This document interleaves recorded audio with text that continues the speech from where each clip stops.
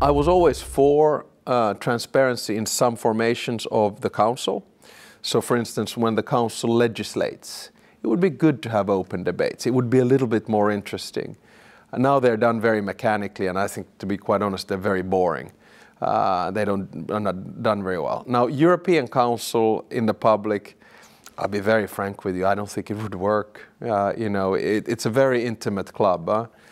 Prime ministers and presidents you know, I, I, I say we, we uh, sort of understand each other.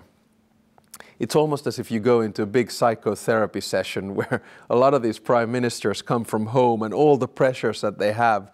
And then they get into this room, 28 of them, plus the Commission President and the President of the European Council, and they almost hug each other.